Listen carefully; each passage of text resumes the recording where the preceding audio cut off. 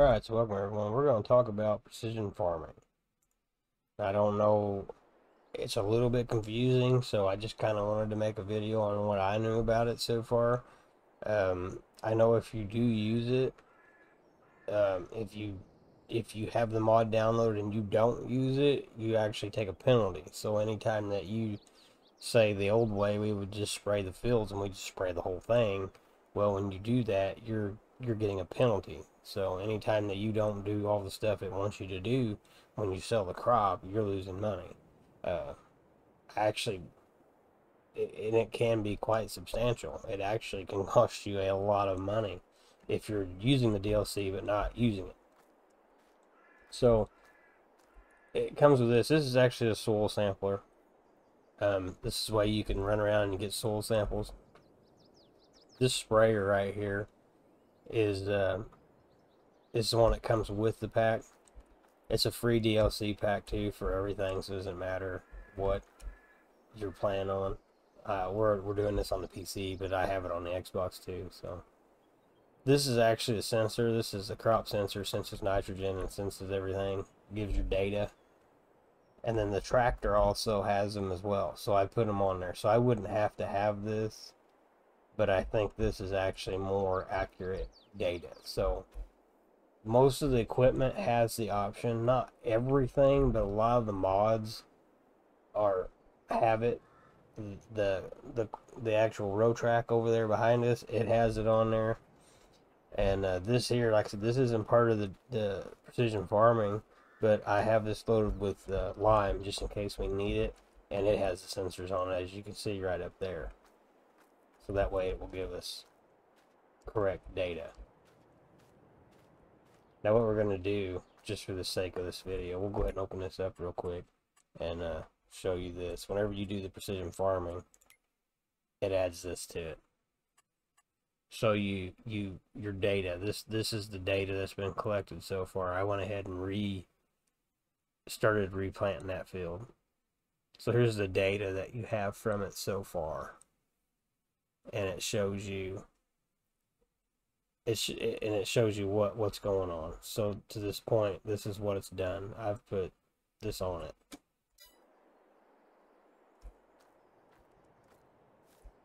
Let's see. Then we'll go over here, and we will. We'll go ahead and finish this. This one, I'll just show you. This is another part. As you can see, it shows the nitrogen levels, and it shows the variable seed rate. So that's another feature that changes as well. So we will go ahead and do this. And it saves you money. It saves you money on spraying, saves you money on seeds. It kind of saves you money all the way around, really. So, and it, will change. Its seed rate will change depending on where. I don't know how it figures that out, but it will change. As you can see, it's already changed. And I, I don't know how, but I don't know how it figures it out, but it will change. And, and it and it saves you it saves you money in the long run. Or that's the idea anyway. We'll put this over here and get this out of the way. So that might be enough data for us, but we don't actually have a data map for it. See, it tells you we got weeds growing, it needs plowed, and needs rolled. And then it shows you the precision farming. There's no soil data. It's we have a 57% expected yield. So, not very good. So we're gonna come over here. We're gonna fire this dude up. We're gonna come on over here. And we're gonna what we're gonna do is we'll go ahead and open this up so see what we gotta do. And you come over here and we'll just turn this map on this will show you once we get in there it should show us what's going on. So let's just start about right here. So we'll just go ahead and take a sample. Well, we got unfold. We'll go ahead and unfold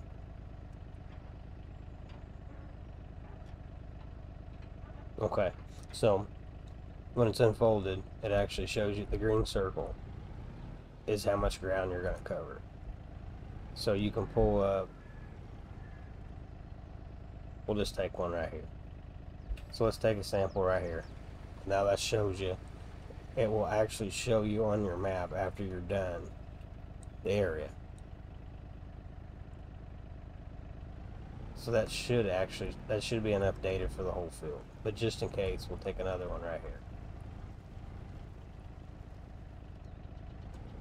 Once it's, once you have the data for the field, it'll turn red, as you can see. But we're just going to go ahead and take one more.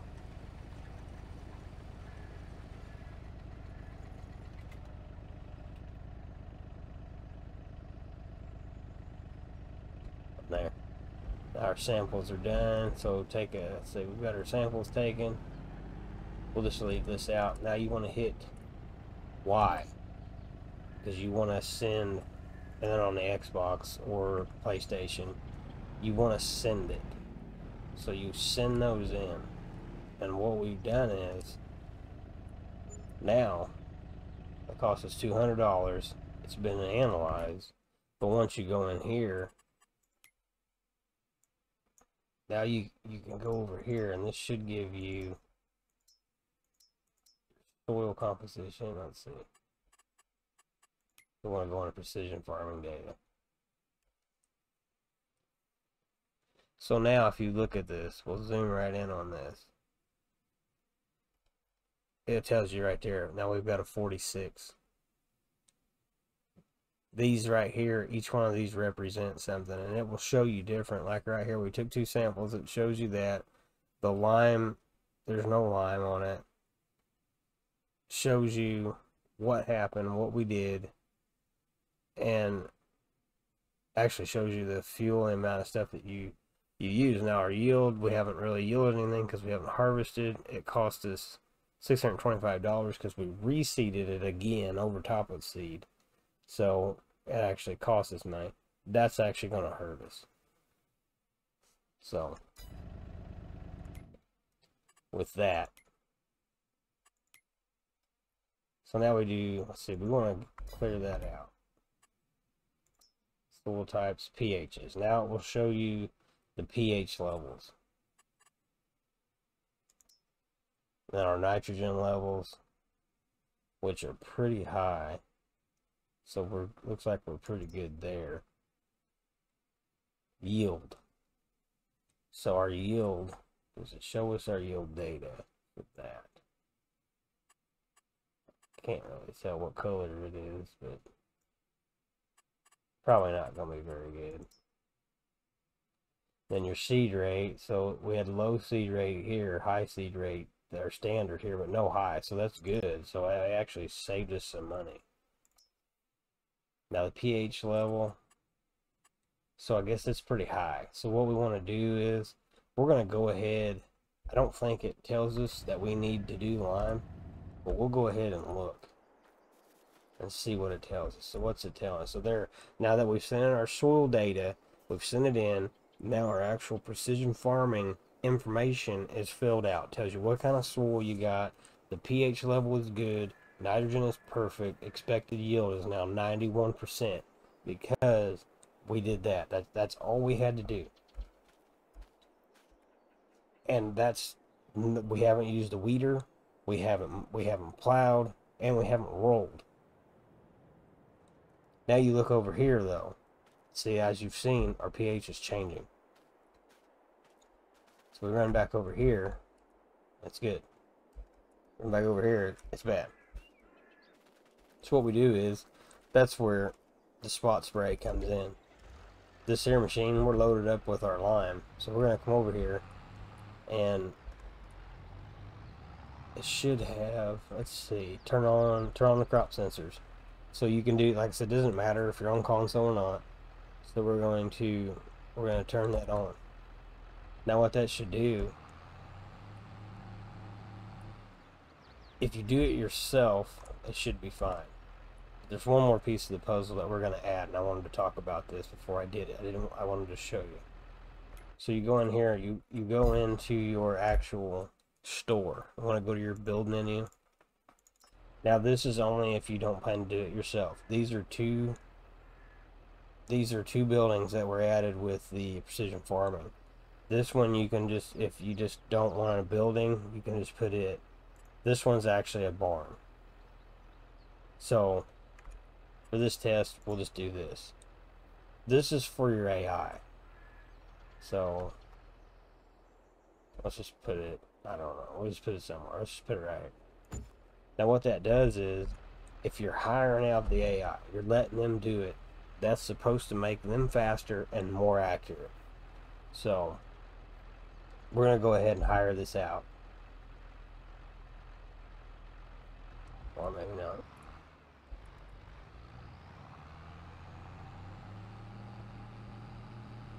Now see, this may actually be a negative for us because we're not actually spot spraying, or just spreading it everywhere.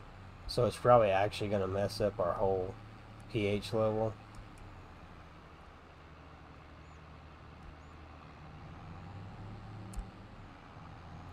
We'll get this done and we'll see what it's done. So the pH application, we're up, we're doing good. So it did turn off, so that's good. Alright, so then it did what it did what it's supposed to do. The sensors actually worked, as you've seen. Everywhere it spread, it turned off. So, we're all good. We'll get this dude here out of the way. Park this thing right here. So now we're going over there. Now what we've done is we've we have updated our all of our our nitrogen levels everything has been changed. Our pH has been improved perfectly by doing that. So now our score is still at a 91%. But what we've done is we can go in here and now our tables should be it should be changed. We're still at a 46 score though overall and it, and it updates our money that we've put into it. But as you can see here, these are positive. So this is, it's, no, it's actually showing negative, negative, and negative. So I don't know, this might actually be a hit that we take for that. Now it actually says it needs weeding. What we're going to do we are going to want to grow crops. We're going to advance it. You'd have to sleep on console, but in here we can just make them grow. So there should grow one crop state. And once they pop up, we'll have weeds, and then now we'll be able to show. So there we go. We're, we're, we now, we have it up. We have weeds in the field. As you can see, they're not like they used to be. So they're just over here little spots over there and just kind of all over the place. So that's where this here fella comes in. So we want to get in here. Go ahead and get your crop sensor unfolded. And we want to go ahead and get this unfolded. Now we're loaded with herbicide. So what this is going to do for us if you hire it out, doesn't matter if you hire it out or you do it yourself. If you hire it out, you're going to want that building over there because it just helps you out. If you're doing it yourself, it doesn't matter because we've got our we have our sensor on the front, and the whole the whole deal is going to spot spray. So we're just going to turn it on, and as you can see, nothing's happening. Now as we pull into the field, it will start to spray. It'll just spray the weeds that, that are in the field. So as you can watch it, it'll start spraying and then it'll turn off. So with all this working together, as you can see, I would be wasting spray right now as I'm talking to you because I'm not really paying attention to what I'm doing. But as you can see, it won't spray. It will not spray. It won't waste anything and it just gets the weeds. So now we've effectively finished that whole field just like that. And we barely used any herbicide whatsoever because we went ahead and we had the spot spray and we're using the precision farming DLC. So now we will run back over and we will see what, what information that we have. So everything's still pretty good. We have an expected yield of 84, so I'm not really sure what we did wrong. but we're still well we're see we're at 100% here so our potential yield is 125 so we've got some nitrogen potentially higher so I don't know I haven't tried it it's showing our nitrogen is perfect though so I don't know how we could actually get this to increase over here and why it's better over there and that may just be something that works out after a time or two of actually uh, playing but now what we can do is we're going to go ahead and advance it several days. So there are, are, are several growth states. And uh, let's see what happens because we've already, we've already, uh, we've put our lime down. We've already direct drilled into it. So actually the next, if we direct drill in again, as long as we don't have to plow, it actually tells us to plow. So really would need to plow and then that messes everything up when you plow, I do believe. And then you're kind of at a restart. But then the next three in a row, you'll be able to increase. But as you can see, though, what happened, because we did the precision farming, you come over here. Now look at that. We have no data, but our expected yield is 52%. So not not good. Not good at all. But you come over here, you're at least 83%. So just the simple little things that we did, we've already increased our potential. Actually, we'll go over here and let's just take a sample if it'll let us. We'll just go ahead and take one real quick and then we'll see what happens. See what, what information we get from this field. Let's just pull right over here. And then we'll just go ahead and take a sample. And now we should have data from this field. Now, as you can see, like I said, the red shows you what we took. So we're going to go ahead and pull up, and then this will finish this whole field. Over a large field, this would be a little tedious. You do have the option to buy it if you don't want to do this. Let's see, that's done. There's that. We want to get, we want to go ahead and do that. So we sent that in. Now we have full information about this field.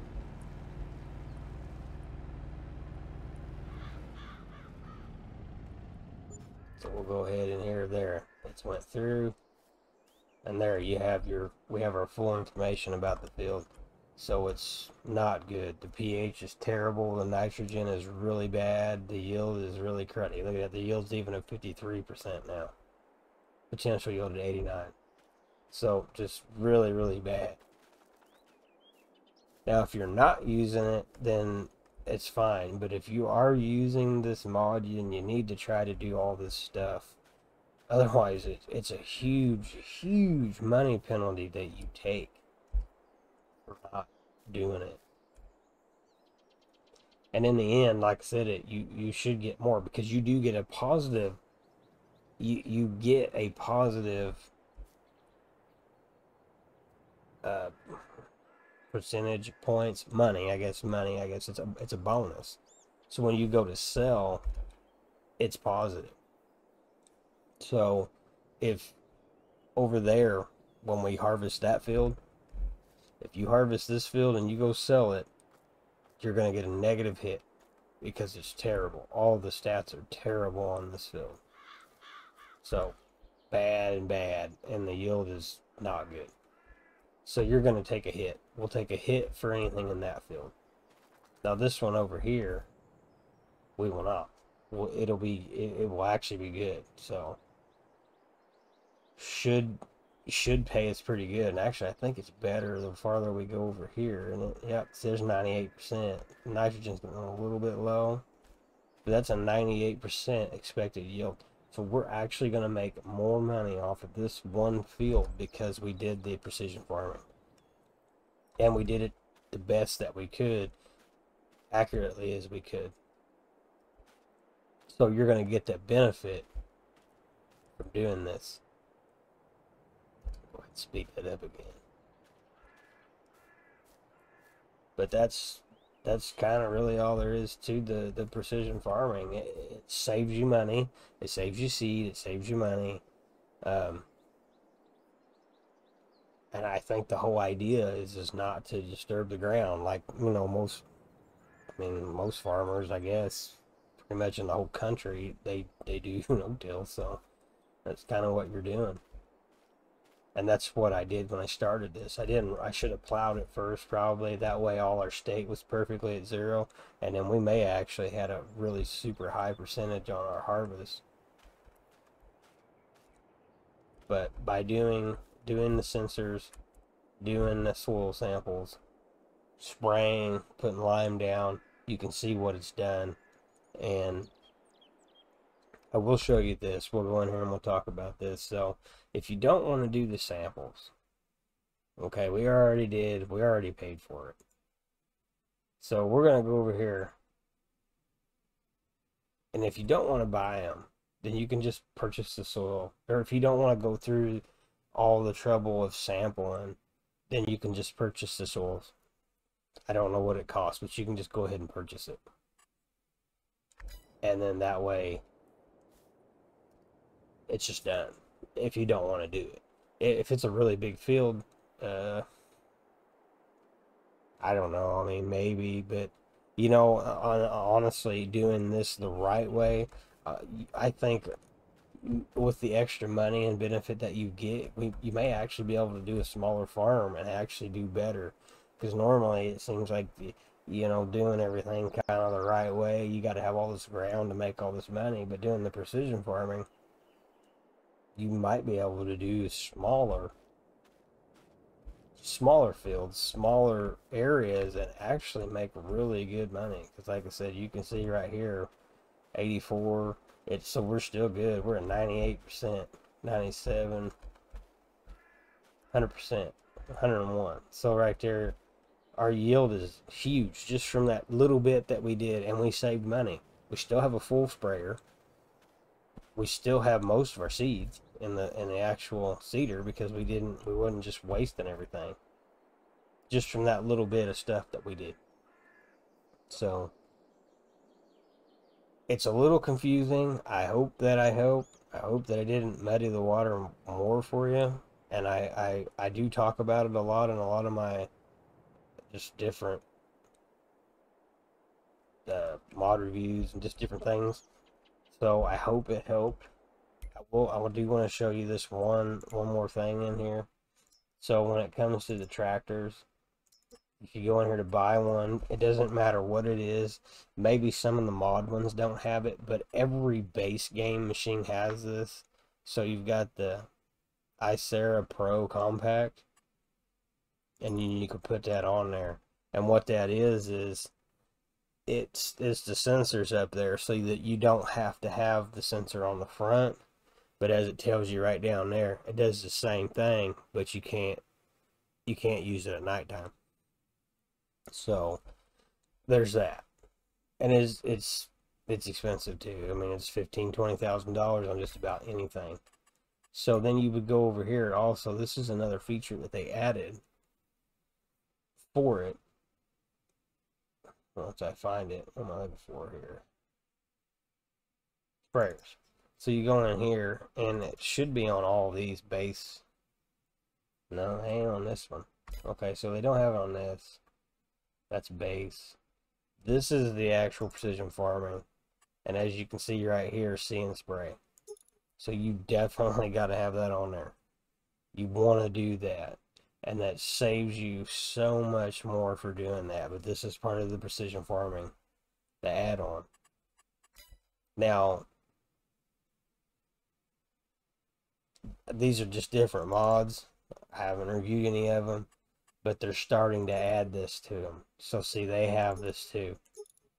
So there's other things that have that, and that is awesome. It costs you a lot of extra money, but it's awesome because it just helps you out in the end, having all this stuff on there. And I know it's a lot to it. There's a lot of stuff, but I feel if you do it if you're not going to do it, then you don't you you really just want to get rid of the mod because it's costing you money. But if you follow all these steps, you'll you'll get up there. You'll get your yield up there because as you saw, this field was was really cruddy like this. It had really bad stats like that when I started. Now, the only thing I did wrong is I should have plowed and rolled, and then I would say that our actual yield percent would be over 100 right here.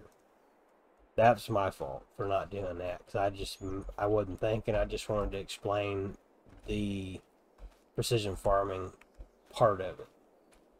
And, uh, and, and we, and then we showed you everything that you, you would do. So it's it's a lot of it's basically the same stuff that you would do. It's just a little bit different, and it saves you money on how you do it. So I hope this helps. I hope this clears up something for you.